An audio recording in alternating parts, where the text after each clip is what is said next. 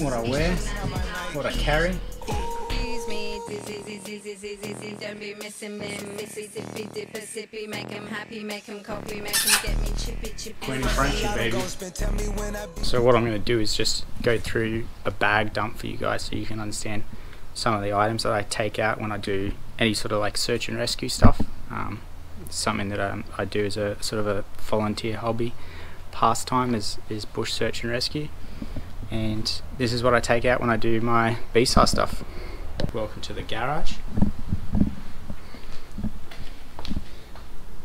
There's my bag dump. So this is the gear that I take. Um, pants. These are sort of a, a weatherproof pant. Um, they've got zips on them and all sorts of things. They're a little bit thicker, so they're good for um, when you're sort of doing an overnighter. And they've also got drawstrings underneath, so you can pull them up and turn them sort of into shorts. I mean, they're not full zip offs, but um, they're great and they're quite thick. I've fallen off cliffs in these and not torn them. Um, Arc'teryx shirt. This is a very lightweight. It's probably hard to see with the background, but it's a, a lightweight hiking shirt. Roll up sleeves, um, and it's just got the quick release buttons on it. Um, great, great uh, for the hot weather. Baseball cap. As you can see, I'm obviously a bit of an Arc'teryx fan. Got the Arc'teryx. These are um, originally running shoes, I think, um, but they've sort of retrofitted them into a kind of a really light hiking. So, um, been in the summer in Australia, it's pretty damn hot. Uh, and then my knobby underpants and some darn tough socks. So, highly recommend those socks. They're they're great. So this is one of Arc'teryx's newer design packs. It's a 35 litre Alpha AR, so the Alpine one. Really, really tough material. Um, I used to have bigger packs, but I found 35 litres is more than adequate. It was really, really comfortable shoulder straps. It's got sort of the bucket lid that can be removed, uh, and a lot of expansion on the top. The next item we have up here is a really super lightweight Arc'teryx rain jacket. So this is 100% waterproof Gore-Tex. Really, really thin. It's probably 100 grams if that. It's so light. Um, and I keep that stuff down the front of the pack, which I'll show you at the end. Um, but I want that quick access, so I'll have that on top of the pack there. Next items I have is my sleeping setup. So shelter, what I'm rolling with is, this is a Sea to Summit poncho in here and I've got some uh, tent pegs so the poncho is doubles up as actually a little um, tarp shelter uh, and that's plenty long enough um, to keep me inside there. And I've got about six lightweight tent pegs so that's a Sea to Summit item as the shelter. I've got sleeping mat. This is the um, uh, the Thermalite Cedar, again a Sea to Summit product but the Thermalite insulated. And that that blows up by itself. It's really quite quite a neat little setup. And I've got a pillow squashed in there as well. Over here I've got a Snugpak. This is a summer weight sleeping bag um, with a waterproof compression sack to put it in. Uh, it's at the moment it's summer in Australia so this is what I'm wearing uh, sorry sleeping in. On top of that I've got a, few other comfort items. So this is a really really lightweight hammock setup and this is again another Sea to Summit product. Uh, the ultralight hammock, so depending on where I'm going, um, I might want to sleep off the ground, so the hammock is perfect for those hot summers. I've also got, uh, in case it gets too cold, I've got a little Mont uh, liner, so this is kind of a silk sleeping bag liner. Uh, it adds probably about 5 to 8 degrees of warmth when you're sleeping. I also have bivy bag, so if you don't know what a bivy bag is, it's just a, um, a waterproof, essentially plastic bag that goes over your whole sleeping setup. So if I don't want to set up a shelter, I can just pull this over my sleeping bag and keep everything dry. It's always good to take some extra warm clothing just in case the search and rescue goes overnight. So extra pair of underwear and socks, um, pretty critical. Um, a good warm beanie and then good warm glove something I forgot to add is I've got a little Macpac um, lightweight down jacket.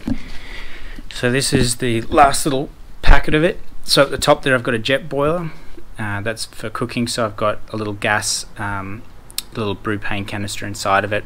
One liter Nalgene bottle, four liter. Uh, this is an MSR um, dromedary bag, and you can basically run it over with a car and it doesn't pop. So I'm quite comfortable carrying a lot of water in a in this um, particular bladder as opposed to a, a rubber or plastic one. Um, I've got my map, uh, prismatic compass. Um, I've got a, a signaling mirror, um, pens, pencils, um, Write in the Rain notebook. All of that's in there, and that's in a waterproof Sea to Summit kit. Sunnies, which I love them, nice and lightweight, and they'll stick on your head. Over here, I've got this is a super lightweight, full-sized uh, microfiber or some some kind of special fiber towel. It's very very thin, but super absorbent. Rescue whistle. Um, this is just a, a hand compass. Um, this is actually set to the northern hemisphere, but I understand the variation difference in it, so it's really just a quick reference to get me in the right direction. Um, my Garmin Foretrex, which is uh, a little GPS. I've got head torch. There's a little Petzl one. Uh, it also has uh, red and white light settings on it, um, and it's recharged with um, with a USB-C cable. Uh, really, really good. It's actually quite bright, a lot brighter than you would think, um, and it's just got these like fine little headbands, which I prefer. It's easy to have it sitting around your neck as well while you're working. Um, just a little ESEE uh, knife, so that's just a, probably a three-inch blade, maybe two and a half inch blade, something like that. Um, full tang, so it's quite a quite a strong blade, um, really really sharp. Um, I, I, prefer sort of a fixed blade if I'm carrying something, and that can catch onto a, a belt or something like that. Uh, med kit here, so I've got the larger. This is the 0.9 made by Adventure Medical Kits, um, and I've added a bunch of different things in here as well.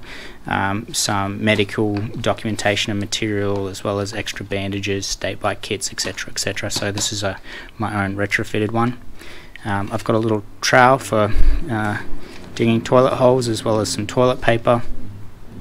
This here is a um, this is a little knife fork kit. It does like 11 things. It's got um, a can opener. It's got a flint on it. It's um, it's actually uh, made out of titanium, and so the tip's really really sharp. So you can actually cut packages open and things like that. Open bottles, cut uh, cut string, and all that sort of stuff as well as it's got the flint here. Down here I've got my, um, this is like a, a water filter. Um, so these two connect together. There's this, this is like a really uh, large particle filtration system here. It sucks the water up into this thing and you basically just squeeze that into your bottle. Um, I prefer this one as opposed to LifeStraw because it allows me to drop this into water pockets that are harder to access than with the straw. So I can put it into, say, a puddle or into a really tiny stream or something like that, and then actually pump this into my bottle. It just makes things a little bit easier. This is just a sort of a goodie bag. I've got um, a couple lighters in here. I've got some biodegradable soap. I've got an extra fold out little tiny backpack if I needed to separate some of my kit, um, a bug net. Um, I've got uh, like a sort of a fold out um, kitchen bucket thing if I need to collect a large amount of water, some Blistex, um, so some um, lip balm cream, uh, some hand sanitizer. I've got a couple first aid um, bits of items there. Just I, am pretty sure they're blister packs and things like that. Toothbrush, toothpaste, and I've got some insect repellent in there. So that's just a little kit that goes everywhere. So that's it that's the kit guys some of this stuff is kind of a little bit of overkill and there's some a lot of comfort items there as well but my base weight including water is oh, about 15 kilos I think and I'm carrying about 5 litres of water on me so really my base weight's under 10 kilos still quite heavy but um, I'm pretty happy with it bangers in the system miss bangers in the system ancient and Bangers in the system, is that bangers in the system, is that